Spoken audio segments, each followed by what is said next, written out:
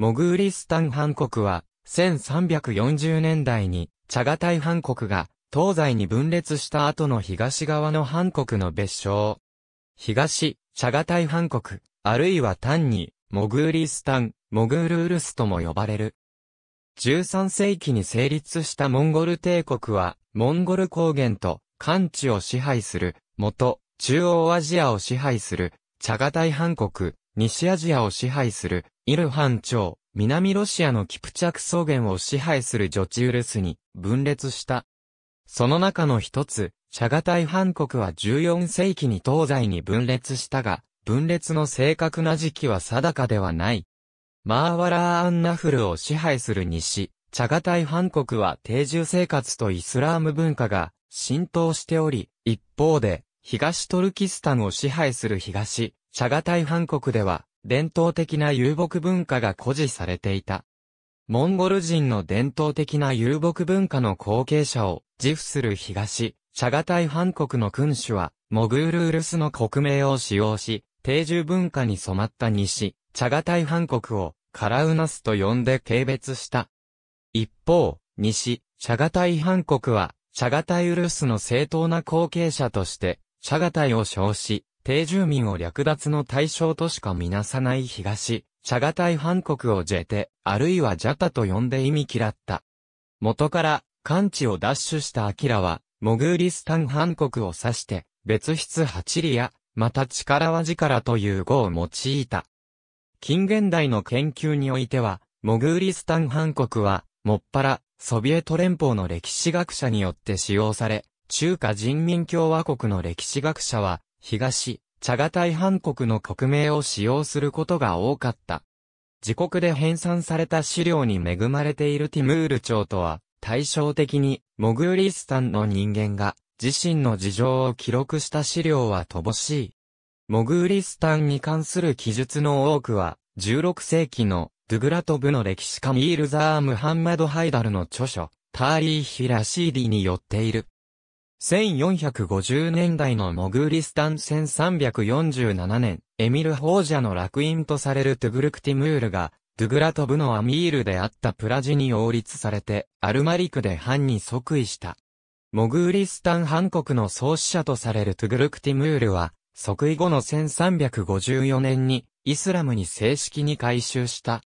有力者であったカザガン、アブドゥッラー親子の死後に、西チャガタイ・ハン国が群雄割拠状態に陥ると、トゥグルクティムールは1360年と1361年の2度にわたってサマルカンドへの遠征を行い、その際に偶像を崇拝する異教徒との戦いが名分とされた。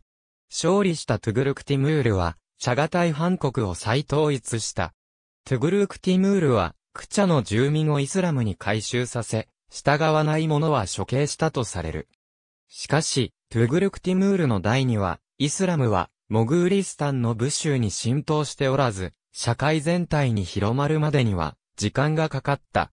トゥグルクティムールは、長男のイリヤース・ホージャを後継者に指名したが、1365年に、イリヤース・ホージャは、プラジの兄弟、カマルッディンによって殺害された。カマルッディンは藩を称したが、チンギス島原理を尊重する部族長たちは、カマルッディーンが藩であることを認めず、モグーリスタン藩国は、長期の内戦状態に陥った。1371年から1390年にかけてモグーリスタンは、カマルッディーンの討伐を名目に、ティムールから7回以上の侵攻を受け、アルマリクは荒廃した。イリヤース王者の弟であったヒズル王者は、カマルッディーンに追放されて、ウイグルスタン方面に逃れ、統治で再起を図っていた。1388年頃、カマルッディーンは、老いのホダーアイダードによって、モグーリスタンを追放され、ホダーアイダードは、ヒズル王者を支持した。1390年に、カマルッディーンは消息を絶ち、ヒズル王者は、ティムールと講和した。1397年頃に、モグーリスタン藩国とティムール朝の間に、婚姻関係が成立。1400年頃に、ティムールの孫、ミールザーウマルが、ウイグルスタンに侵入した。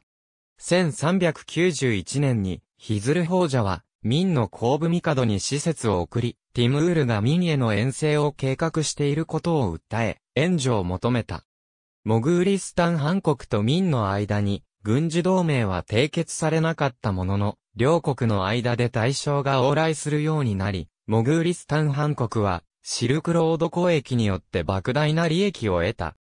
朝貢関係が成立したことで民は、モグーリスタン藩国が、作法体制に組み込まれたとみなし、交易によって、関地と西域の経済、文化交流が促進された。新たなドゥグラ東部の当主となったホダイダードは、ヒズル王者からワイスに至るまでの6人の藩を擁立し、ドゥグラ東部の当主は1533年まで強力な権限を世襲した。1490年代のモグーリスタン15世紀のモグーリスタンはティムール朝に加えてオイラとウズベクといった遊牧勢力の侵入にさらされることになる。イスラムを受容した藩たちはナクシュバンディ教団の教義を学んだ。15世紀初頭に即位したムハンマドはイスラム風の衣服を着用し、イスラムへの改宗を推進して、領内のすべてのモグール人にイスラムを信仰させた。1418年に即位したワイスはムスリムに対して危害を加えることを禁止する命令を武州に出し、いとこのシール・ムハンマドと範囲を争った。シール・ムハンマドを破って、藩に服位したワイスはオイラとに戦いを挑むも敗れ、その捕虜となった。ワイスの死後、その子であるユーヌスとエセンブカの兄弟が、ハミを争った。ユーヌスは、イリからタシュケントに至る、西側の地域、エセンブカは、東側のウイグルスタンを領有した。エセンブカの第二、ウズベクから分離した一団がモグーリスタンに移動してくると、エセンブカは彼らをモグーリスタンの辺境部に住まわせた。1468年に単独の藩に即位したユヌスは、ティムール朝の弱体化に乗じて1482年にタシュケントを占領した。16世紀からモグーリスタンにカザフ、キルギスからの圧力が加わるようになった。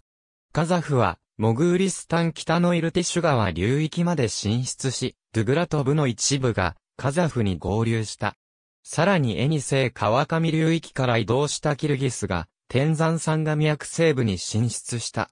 14世紀半ばには16万人に達していた、モグール人も、16世紀半ばには、約3万人に減少していた。